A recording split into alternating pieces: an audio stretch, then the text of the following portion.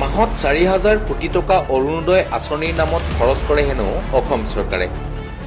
অৰুণোদয়ৰ নামত ক'ত খৰচ কৰে এই বৃহৎ সংখ্যক ধন। মুখ্যমন্ত্ৰীয়ে দিয়া তথ্যৰে দুই কোটি পঁচাশী লাখ এসত্তৰ হাজাৰ চাৰিশ আঠাইছগৰাকী হিতাধিকাৰীক দিব পাৰিব অৰুণোদয়ৰ ধন।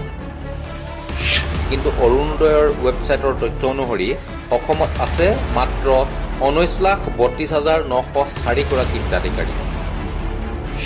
তেন্তে কত হেৰাল দুই কোটি ছয়ষষ্ঠি লাখ আঠত্ৰিছ হাজাৰ পাঁচশ চৌবিছগৰাকী অৰুণোদয় হিতাধিকাৰী।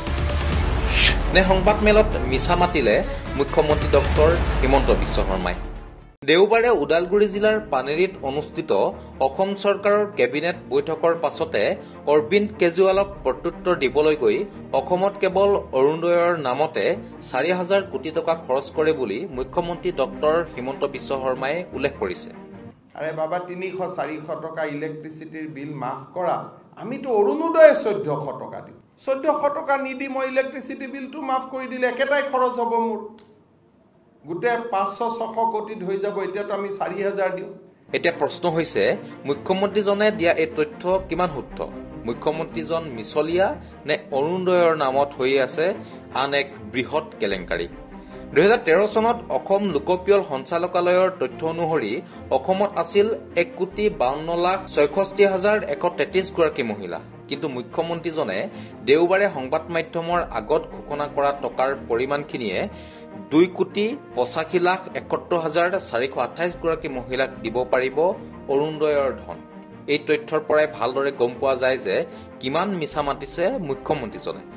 আনহাতে অৰুণোদয়ৰ ৱেবছাইটৰ তথ্য অনুসৰি অসমত বৰ্তমান আছে ঊনৈছ লাখ বত্ৰিছ হাজাৰ নশ চাৰিগৰাকী অৰুণোদয় হিতাধিকাৰী। যদিহে ঊনৈছ লাখ বত্ৰিছ হাজাৰ নশ চাৰিগৰাকী হিতাধিকাৰীৰ নামতে চাৰি হাজাৰ কোটি টকা খৰচ কৰে তেন্তে প্ৰতিগৰাকীয়ে পাব লাগে বিছ হাজাৰ ছশ চৌৰানব্বৈ টকাকৈ। কিন্তু অসম চৰকাৰে প্ৰতিগৰাকীক প্ৰদান কৰি আছে মাত্ৰ চৈধ্যশ টকাকৈ। মুখ্যমন্ত্ৰীয়ে কোৱাৰ দৰে সঁচাকৈয়ে যদি চাৰি হাজাৰ কোটি টকা অৰুণোদয়ৰ নামত খৰচ কৰি আছে তেন্তে দুই কোটি পঁচাশী লাখ এসত্তৰ হাজাৰ চাৰিশ আঠাইছগৰাকী হিতাধিকাৰী থাকিব লাগিব। আনহাতে চৰকাৰী তথ্য মতে আছে মাত্ৰ ঊনৈছ লাখ বত্ৰিছ হাজাৰ নশ চাৰিগৰাকী তেন্তে কত হেৰাল বাকী দুই কোটি ছয়ষষ্ঠি লাখ আঠত্ৰিছ হাজাৰ পাঁচশ চৌবিছগৰাকী হিতাধিকাৰী? ঊনৈছ লাখ বত্ৰিছ হাজাৰ নশ চাৰিগৰাকী হিতাধিকাৰীক চৈধ্যশ টকাকৈ দিবলৈ অসম চৰকাৰে প্ৰয়োজন হয়। মাহে দুশ সত্তৰ কোটি ষাঠি লাখ পঁয়ষষ্ঠি হাজাৰ ছশ টকা।